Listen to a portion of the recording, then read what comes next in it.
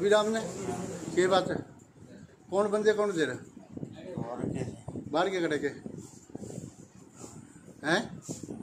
किसी ने कहा किसी ने जानता नहीं किसी के लगे देता हूँ दो जने गए दो जने कौन कौन? हैं? पानी भी पियावांगे इतने। तो कोई नहीं कोई नहीं तुम बता दो। बताओ हाँ बता कोई नहीं हैं हैं ये है कोई नहीं पियावा पानी भी कोई बात नहीं तुम बता दो फिर सभी और कौन दस गया कौन क्या था हैं कौन दस गया हाँ कड़ा का कल भी रहो खागा बिल्कुल खागा उसने मरवाई है चोट और? हैं? अरे वो फिर जैसे चोट मारी हो कल भी कड़ा है। और बंदे मिले फिर तुमने? है। पूरा गड्डी में लेके किसे में?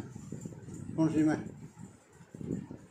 तो लेके यहाँ। को बाड़े जो कोई नहीं जैसे कि आपको पता है कि हमने कैथल बेकिंग टीवी के माध्यम से भी आपको बताया था कि शांगण गाँव में एक महंत रामभज दास को कुछ लोग बुला कर के लेके गए और घायल अवस्था में खरक पांडवा के पास उनका जो है बॉडी मिली, शरीर मिला और उनको हॉस्पिटल में ले जाया गया तो पीजीआई रेफ़र किया गया और पीजीआई रेफ़र करने के दौरान रास्ते में ही जो है उनकी मौत हो गई और इसी मामले को लेकर, इसी मुद्दे को लेकर यहाँ पर महंत मौजूद हैं और देख सकते हो कि किस तरह से जो इनकी मांग जो है लेकर के आए हुए हैं कि इनकी मांग ये है कि जल्द से जल्द बदमाशों को पकड़ा जाए और अभी आप देख सकते हो कि महंत और जो शांगण गाँव के वासी भी और बाबा लदाना गाँव से जो बाबा राजपुरी के जो महंत हैं, वो भी यहाँ पर संबोधन दे रहे हैं और बता रहे हैं कि आगे की रूपरेखा क्या होगी और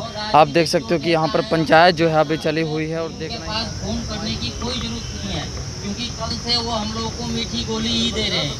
कभी कह रहे हैं कमेटी गठन हो गया, कभी कह रहे हैं हमने एसपी साहब से बात कर ली।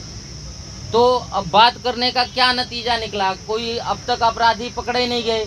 जबकि रामभज दास ने मरने से पहले बयान दे रखा है और वो बयान हमारे मोबाइल में है।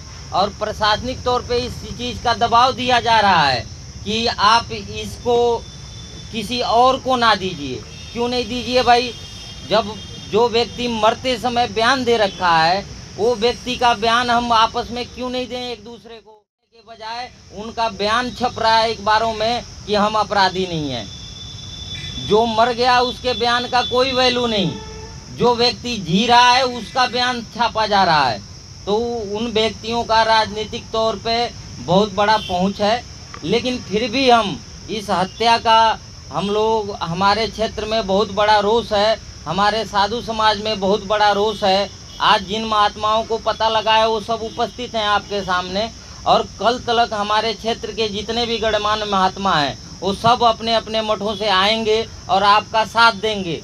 जब तक कि हमारे शरीर में जान है, हम गाँव के साथ हैं। और आप लोगों को हमारा साथ देना है, क्योंकि इस अवस्था में किसी भी मंदिर में कोई भी महात्मा नहीं रह सकता, क्योंकि हर महात्मा अकेले ही रहता है। और उसको अगर इस तरह भूमाफिया, गैंगस्टर लोग, राजनीतिक प्रभावशाली लोग महात्माओं को मारते रहेंगे और प्रशासन कोई सुनवाई नहीं करेगा तो इस तरह तो गाँव के सारे मंदिर खाली हो जाएँगे और इनके राजनीतिक बाबे हर मंदिर पे बैठे मिलेंगे। साधुओं के अस्तित्व ही खत्म हो जाएगा। तो इसलिए हम आप लोगों से निवेदन करते हैं, इस संघर्ष को जितना हो सके उतना बढ़ाओ। प्रशासन जो गहरी नींद में सोया हुआ है कैथल का, वो जागने पे मजबूर हो जाए। उन अपराधियों को पकड़ने पे मजबूर हो जाए। इसलिए हम लोग को सजग होके, एकत्र होके, पूरे ज़ोर शोर से हम डीसी साहब के पास चलेंगे। तो बोलो बाबा राजपुरी महाराज की, बाबा श्रृंगी ऋषि महाराज की। ओम नमो नारायण। जी, अभी हम बातचीत करेंगे बाबा डेरा राजपुरी के जो महंत हैं और किन मांगों को लेकर यहाँ पर आए हुए हैं। जी, क्या कहना चाहोगे सर? जो ये हमारे गुआंड के एक महात्मा थे रामभद्र दास जी जो कि हमारे बचपन के बड़े प्रिय मित्र भी थे और बचपन के सन्यासी थे बचपन के संत थे। परसों रात एक व्यक्ति जिसका नाम अभी हम आपको वीडियो दिखाते हैं क्या नाम है उसका? कुलबीर। नामक व्यक्ति जो कि बेल्लर खां से बिलोंग करता है। वो महाराज को शाम के टाइम जूस पिलाने के बहाने आश्रम से लेके गया। और कलैत, खरक पांडो जो गाँव पड़ता है, वहाँ से सुजुम्मा जो रोड आता है, उस रोड पे उस महात्मा जी को चार पाँच व्यक्ति और पहले से ही वहाँ इंतज़ार कर रहे थे उनका। उनको बच्चा, जो लड़का था, वो सांगन डेरे से ले गया।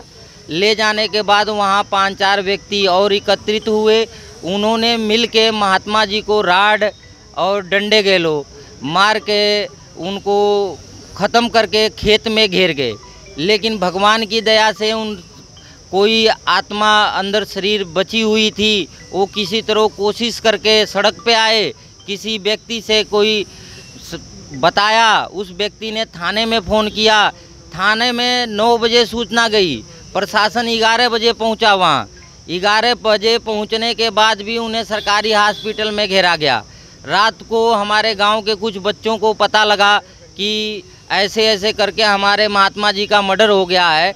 वो बेचारे रात को मोटरसाइकिल लेके जब सरकारी हॉस्पिटल में पहुँचे तो उनके उनके मिलने नहीं दिया गया पहले तो महाराज से। फिर भी वो बेचारे धक्का मुक्की करके अंदर बढ़े। बढ़ने के बाद रामभद्र दास जी ने स्वयं बयान दिया कि मेरे पे हमला कराने वाले तीन व्यक्ति हैं, जिनका स्पष्ट तौर पे उन्होंने नाम लिया और प्रशासन के सामने बयान दिया है, लेकिन प्रशासन अब तक उनको गिरफ़्तार नहीं कर रहा है।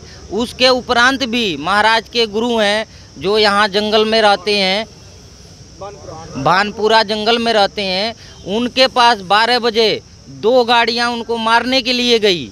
लेकिन भाग्य बस उनको किसी तरह पता था कि भाई अब हमारा शिष्य मर गया है तो वहाँ से उनको उठा, वो वहाँ से चल पड़े थे तो रास्ते में वो दोनों गाड़ियाँ मिली, जिसका सीसी फुटेज भी महाराज के पास उपलब्ध है।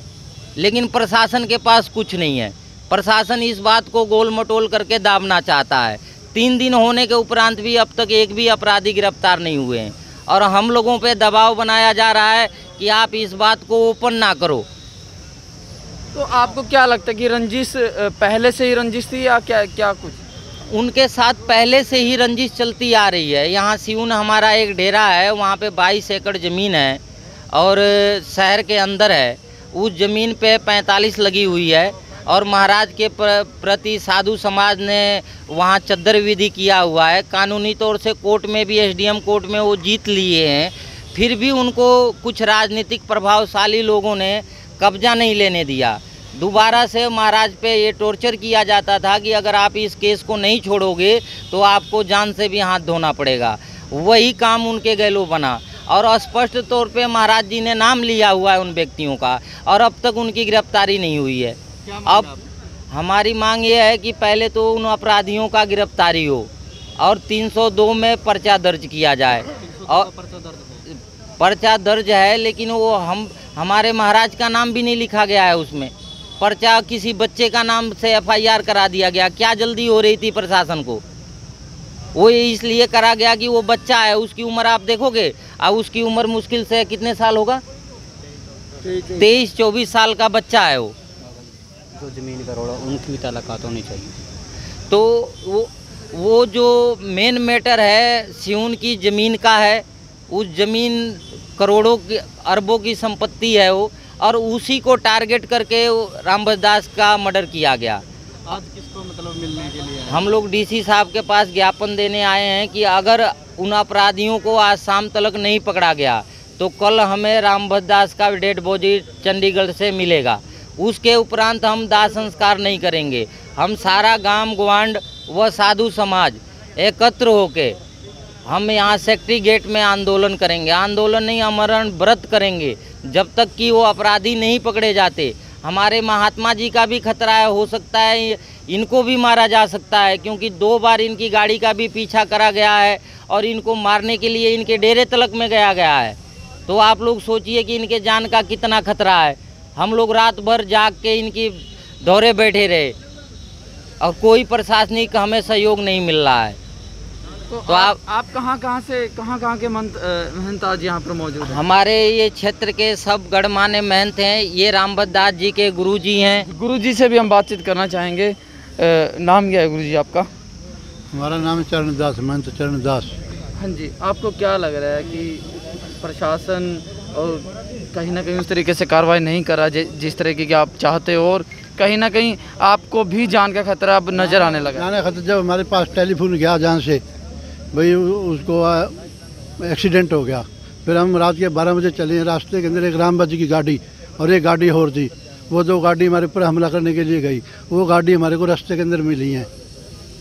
रास्ते के अंदर मिलने के बाद फिर हम, वो गाड़ी वाले को पता लगा, भाई, जो गाड़ी, कौन गाड़ी आ रही है? जब उसके पास को निकल गए तो जो की गाड़ी चोरी होकर उसके अंदर जो जा रहे हैं बदमाश, वो गाड़ी थी। हमने उसको गाड़ी का नंबर पहचान लिया। वो दो गाड़ी आगे चली गई। फिर उनके पाछे हमने बंदे बंदे इकट्ठे करे तो डेरे के अंदर नहीं गए वो आगे निकल गए। उनकी आगे भी वीडियो है और पीछे भी है। कबर्तन गाँव के अंदर और सुनी वाले के अंदर। दो गाड़ियों की उनकी कैमरे के अंदर कैद हैं, रात के बारह बजे।